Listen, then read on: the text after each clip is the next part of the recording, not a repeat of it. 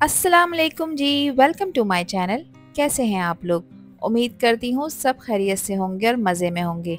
आज आपके साथ शेयर करूँगी मैं मिनी पिज़्ज़ा बनाने की रेसिपी जिसको मैं बनाऊँगी बिना किसी ओवन के, घर में मौजूद तवे पर। मिनी पिज़्ज़ा बनाना इतना आसान कर दिया है मैंने कि जब आप इसे ख़ुद बनाएँगे और इसके रिज़ल्ट देखेंगे तो आप ख़ुद भी हैरान रह जाएँगे।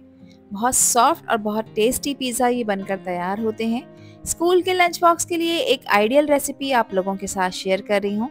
तो फिर रेसिपी को एंड तक देखें। अच्छी लगे तो लाइक भी कर दें। और चैनल पर न्यू हैं तो चैनल को भी ज़रूर सब्सक्राइब कर लें। तो चलें फिर रहीम पढ़ लेते हैं और रेसिपी बनाना स्टार्ट करते हैं। तो बहुत ही सॉफ्ट टेस्टी मिनी पिज़्ज़ा बनाने के लिए यहाँ पर मैंने लिया है तीन कप मैदा। मैदा मैंने मेजरिंग कप को मेजर करते हुए लिया है। आप घर में अगर कोई चाय पीने वाला सादा सा कप होता है, उसकी मदद से भी आप मेजर करके तीन कप मैदा ले सकते हैं।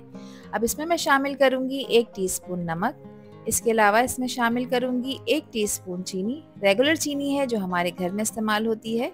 और शामिल करूँगी इसमें एक टेबल स्पून इंस्टेंट ईस्ट ठीक है ईस्ट आपने बिल्कुल फ्रेश लेनी है। ये ना हो कि ईस्ट आपकी ख़राब हो और फिर पिज़्ज़ा सॉफ्ट ना बने।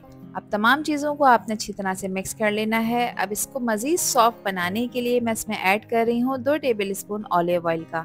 आप लोगों के पास ऑलिव ऑयल नहीं है तो कोई बात नहीं, आप जो घर में रेगुलर तेल होता है, आप वो भी इसमें दो टेबल स्पून ऐड कर सकते हैं। इसकी जगह पे आप बटर मेल्ट करके दो टेबल स्पून वो भी ऐड कर सकते हैं।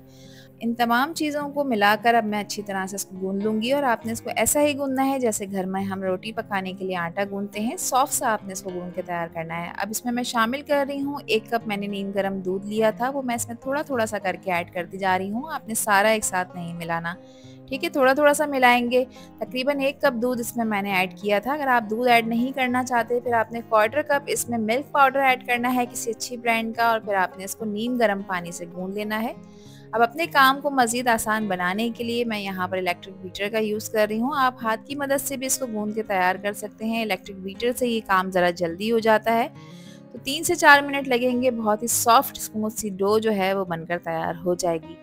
आप लोग इसको हाथ की मदद से भी तैयार कर सकते हैं। इसको बिल्कुल आपने स्मूथ कर लेना है, जैसा कि आपको इस वक्त वीडियो में नज़र आ रहा है। अब इसको मज़ीद सॉफ्ट करने के लिए मैंने एक टेबल स्पून इस पर डाल दिया है ऑयल का मज़ीद और इसको मैं फैला दूँगी। अब मैं इसको रेस्ट दूँगी। इस पर मैंने क्लिंग रैप लगा दी है। आपने भी इसे कवर करना है किसी प्लेट वगैरह से और अब मैं इसे रख दूँगी किचन काउंटर टॉप पर। आजकल शदीद गर्मियाँ हैं तो ये बहुत अच्छी तरह से राइज हो जाएगी। अगर आप सर्दियों में इस रेसिपी को बना रहे हैं और घर में अगर आपके माइक्रोवेव मौजूद है तो आप उसके अंदर भी इसको रख सकते हैं ताकि जल्दी से राइज हो जाए। जब तक पिज़्ज़ा डो राइज हो रही है, जब तक मैं यहाँ पर पिज़्ज़े की टॉपिंग के लिए चिकन को तैयार कर रही हूँ, जिसके लिए यहाँ पर मैंने ली है बोनलेस चिकन और तकरीबन 250 ग्राम मैंने इसमें चिकन के क्यूब्स काट कर शामिल किए हैं। मैंने बोनलेस चिकन का यूज़ किया है, जिसके मैंने छोटे छोटे से क्यूब्स कट कर लिए थे, ताकि पिज़्ज़े की टॉपिंग जो है ना, वो बहुत ही अच्छी लगे। अब चिकन को आपने हाई फ्लेम पे दो से तीन मिनट तक बहुत अच्छी तरह से भून लेना है या जब तक कि चिकन का कलर वाइट ना हो जाए। एक टीस्पून मैंने इसमें अदरक लहसन का पेस्ट शामिल किया है। अदरक लहसन के पेस्ट को इसमें शामिल करने के बाद मैं मज़ीद एक से दो मिनट तक इसको भून लूँगी ताकि चिकन की जो एक स्मेल होती है हीक होती है, वो ख़त्म हो जाए। तो यहाँ पर देखें गोश्त वाइट हो चुका है। इसमें हाफ़ टी स्पून मैं नमक का ऐड कर रही हूँ। इसको चटपटा और स्पाइसी फ्लेवर देने के लिए मैं इसमें दो टीस्पून ऐड कर रही हूँ कुटी हुई लाल मिर्चें। मिर्चों की क्वांटिटी भी आप लोग कम ज़्यादा कर सकते हैं, अपने टेस्ट के अकॉर्डिंग कोई इशू नहीं है। एक टीस्पून मैं इसमें पिसी काली मिर्चें भी ऐड करूँगी। अच्छा तमाम चीज़ों को आपने डालने के बाद एक मिनट तक मज़ीद इसको पका लेना है और अब चिकन को हम गलाएँगे, क्योंकि चिकन जो हमने ऐड की है वो कच्ची है और इसको पकने में थोड़ा सा टाइम लगेगा। एक टेबल स्पून इसमें अच्छे फ्लेवर के लिए चिली सॉस ऐड किया है और दो टेबल स्पून मैंने इसमें सोया सॉस ऐड किया है, जिससे इसकी टॉपिंग जो है ना, वो बहुत ही टेस्टी बनकर तैयार होगी। तमाम चीज़ें ऐड कर दी हैं। आधा कप मैंने इसमें पानी का शामिल किया है और अब मैं इसे कवर करूँगी और इसको पकाऊँगी तकरीबन छः से सात मिनट। चिकन के छोटे पीस हैं तो ये जल्दी गल कर तैयार हो जाएँगे। अब चूल्हे का फ्लेम इसको पकाते वक्त आपने मीडियम कर देना है। तो देखें, तकरीबन छः से सात मिनट के बाद मैंने इसका कवर हटाया था। जो हमने पानी ऐड किया था, वो ड्राई हो चुका है और चिकन माशाल्लाह से गल कर तैयार हो चुकी है। इसको एक तरफ़ रखेंगे, इसको ठंडा कर लेंगे। डेढ़ घंटे के बाद देखें डो माशाल्लाह से कितनी अच्छी तरह से राइज हो चुकी है। क्लिंग रैप हटाएँगे और इसके अंदर देखें, जो एयर आ गई है ना, अब इसको आपने इस तरह से पंच करके इसको निकाल देना है। अब किचन काउंटर टॉप पर मैंने मैदा डस्ट कर लिया है और जो डो मैंने गूंद कर रखी थी, वो अगेन मैं किचन काउंटर टॉप पर लेकर आ जाऊँगी। अब इस डो को आपने इस तरह से थोड़ा सा सेट कर लेना है या फिर इसको थोड़ा सा आपने गूंद लेना है एक मिनट के लिए, ताकि थोड़ी सी फार्म हो जाए। हाथ की मदद से इसको फ्लैट करूँगी और रोलिंग पिन की मदद से मैं इसे बेलूँगी। अब आपने इसको इतना बेलना है कि इसकी ना आपने बहुत ज़्यादा मोटी थिकनेस रखनी है और ना बहुत पतली रखनी है। जब हम घर में रोटी पकाते हैं, उससे थोड़ी सी आपने मोटी इसकी थिकनेस रखनी है। मगर ज़्यादा मोटी नहीं करनी, मैं आपको दिखा देती हूँ कि आपने इसको कितना थिक रख कर तैयार करना है ताकि अच्छे पिज़्ज़ा बनकर तैयार हो। तो देखें तकरीबन वन फोर्थ इंच के करीब मैंने इसकी थिकनेस रखी है और अब मैं इसकी कटिंग करूँगी, जिसके लिए मैं यहाँ पर पिज़्ज़ा कटर ले रही हूँ। इस पिज़्ज़ा कटर का साइज़ तीन इंच का है, आप इससे बड़ा साइज़ भी यूज़ कर सकते हैं या फिर अगर ये नहीं है आप लोगों के पास तो कोई परेशानी की बात नहीं है। घर में जो स्टील का ग्लास होता है या कोई कटोरी होती है, उसकी मदद से भी आप इसे कट कर सकते हैं। तो ये बहुत आसानी से काम हो जाता है। अब देखें, जो एक्स्ट्रा डो है, इसको मैं रिमूव कर दूँगी। अगेन मैं इसका पेड़ा बनाऊँगी, इसको बेलूँगी और इसके भी हम इसी तरह से पिज़्ज़े बनाकर तैयार कर लेंगे। पिज़्ज़ाज की कटिंग मैंने कर ली है और अब एक ग्रीस हुई भी प्लेट ली है, जिसको मैंने ऑयल से ग्रीस कर लिया था। अब ये पिज़्ज़ा जो है ना, मैं इसके ऊपर असेंबल कर दूँगी। क्यों असेंबल करूँगी? देखें, इसको हमने अभी बेला है तो अगेन इसमें थोड़ी सी एयर आ जाएगी। जब मैं इसको थोड़ा सा रेस्ट दूँगी, मज़ीद दस मिनट का तो ये अगेन जो है ना, वो थोड़े से फूल जाएँगे और सॉफ्ट और फ्लफ़ी बनकर तैयार होंगे। इसके रिज़ल्ट से कि आप खुद भी हैरान हो जाएँगे।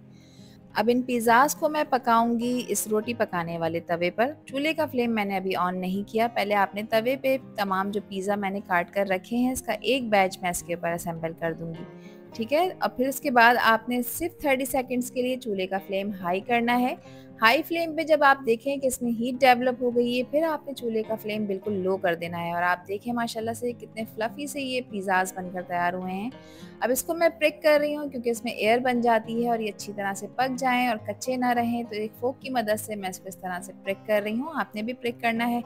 इनको प्रिक करने के बाद चूल्हे का फ्लेम मैंने 30 सेकंड के लिए हाई कर दिया था और अब देखें 30 सेकंड के बाद मैंने लो फ्लेम कर दिया था। दो मिनट आपने हर साइड को अच्छी तरह से पकाना है। दो मिनट हो चुके थे इन पिज़्ज़ाज को इस पर पकते हुए। दो मिनट बाद मैंने इसकी साइड चेंज की है और आप देखें, माशाल्लाह से कितने ज़बरदस्त पिज़्ज़ा जो है ना, वो हमारे बनकर तैयार हो गए हैं। इस स्टेज पे अल्हम्दुलिल्लाह ये 90 परसेंट तक कुक हो जाते हैं। आप इसकी करीब से लुक चेक करें। कितने सॉफ्ट और कितने फ्लफ़ी से ये बनकर तैयार हुए हैं। अब इसकी असेंबलिंग कर लेते हैं। इसकी असेंबलिंग के लिए मैं इसके ऊपर पिज़्ज़ा सॉस लगा रही हूँ। अगर आप लोगों के पास पिज़्ज़ा सॉस नहीं है तो आप इस पर टोमेटो केचप भी लगा सकते हैं और इस पर मैं लगाऊँगी ढेर सारी मोजरेला चीज़। क्योंकि पिज़्ज़ा बना रहे हैं ना तो चीज़ के बगैर तो पिज़्ज़ा अधूरा होता है। अब इसके ऊपर मैंने रख दिए हैं चिकन के चंक्स जो मैंने पका कर रखे थे। दो रखे हैं, आपने जितना दिल चाहे उतना रखना है या इसी क्वांटिटी को कम करना है। एक शिमला मिर्च थी जिसके मैंने बारीक चंक्स काट लिए थे, जैसा वीडियो में नज़र आ रहा है आपको, ये भी मैं इस पर लगा दूँगी और लगाऊँगी इस पर खूबसूरती और अच्छे फ्लेवर के लिए ब्लैक ऑलिव्स आप चाहें तो इस स्टेप को स्किप भी कर सकते हैं। तो अल्हम्दुलिल्लाह, पिज़्ज़ा असम्बल हो चुके हैं। इस स्टेज पे आप इन्हें बनाकर फ्रीज़ भी कर सकते हैं किसी एयर टाइट कंटेनर में या फिर जेबलॉक बैग में। एक से दो महीने तक आप इसे फ्रीज़र में रखें, ये बिल्कुल भी ख़राब नहीं होंगे। फिर जिस वक्त आपने इसको खाना हो, आप इसे फ्रीज़र से निकालें। इसको जस्ट आप माइक्रोवेव करें माइक्रोवेव नहीं है तो आप इसको इस तरह से पैन पर सेकें। जब तक चीज़ मेल्ट ना हो जाए और उसके बाद फिर आप इन्हें इस्तेमाल करें, ये बहुत ही मज़े के लगते हैं और ख़राब बिल्कुल नहीं होते। तीस सेकेंड के लिए आपने चूल्हे का फ्लेम मीडियम हाई की तरफ़ रखना है, उसके बाद आपने चूल्हे का फ्लेम बिल्कुल लो करना है, यानी ज़ीरो आँच पे से पकाना है। अब इसको, इसमें हीट डेवलप हो जाए, इसके लिए मैं इसको कवर कर रही हूँ ताकि चीज़ जो हमने इसके ऊपर लगाई है वो मेल्ट हो जाए। दो से तीन मिनट लगेंगे, दो से तीन मिनट में बहुत ही ज़बरदस्त से पिज़्ज़ा बनकर तैयार हो जाएँगे, जैसा कि आपको वीडियो में नज़र आ रहा है। तो देखें आप, माशाल्लाह से कितने बेहतरीन पिज़्ज़ा बनकर तैयार हुए हैं। फ्लफ़ी भी हो चुके हैं, अंदर से बहुत सॉफ्ट बने हैं और बहुत ज़्यादा टेस्टी बनकर तैयार हुए हैं। इसकी लुक से ही आप लोगों को अंदाज़ा हो गया होगा कि कितने ज़बरदस्त और कितने मज़ेदार से पिज़्ज़ा बनकर तैयार हुए हैं। और अगर इस स्टेज पर आप लोगों को ये वीडियो पसंद आ रही हो तो वीडियो को लाइक कर दिया करें और चैनल को भी सब्सक्राइब कर लें और वीडियो को फ्रेंड्स एंड फैमिली में भी शेयर किया करें। आप सभी लोगों का दिल की गहराइयों से बेहद शुक्रिया। तो इन बेहद खूबसूरत से पिज़्ज़ाज को मैंने असेंबल कर लिया है एक अदद प्लेटर में। बहुत टेस्टी से ये छोटू से पिज़्ज़ाज को आप सर्व करें केचप के साथ चिली गार्लिक सॉस के साथ, या फिर आप इन्हें ऐसे ही इंजॉय करें, ये बहुत ही टेस्टी बनकर तैयार होते हैं। बच्चे इन्हें बहुत शौक से खाते हैं। तो एक पिज़्ज़ा मैं आपको तोड़ के भी चेक करा देती हूँ। देखें माशाल्लाह से कितना बेहतरीन रिज़ल्ट आया है। पिज़्ज़ा बहुत सॉफ्ट बना है, बहुत स्पंजी बना है और आप इसकी चीज़ की स्ट्रेचिंग भी चेक करें। तो मज़ेदार से इस पिज़्ज़ा को ट्राई करें और दें मुझे अपना फीडबैक कि आप लोगों के पिज़्ज़ास कैसे बने। मैं उम्मीद करती हूँ कि आज की रेसिपी और वीडियो आप लोगों को पसंद आई होगी। पसंद आई हो तो कमेंट सेक्शन में अपना प्यारा सा फीडबैक मुझे लाजमी शेयर करिएगा। आपके प्यारे से कमेंट का मुझे इंतज़ार रहेगा। आपसे फिर मिलूँगी मैं इंशाल्लाह एक न्यू वीडियो में, एक न्यू रेसिपी के साथ। जब तक हादिया को दीजिए इजाज़त। अपना बहुत सारा ख्याल रखिएगा, अपनों का भी ख्याल रखिएगा और मुझे भी अपनी प्यारी दुआ में याद रखिएगा। अल्लाह हाफिज़, अल्लाह निगेबान।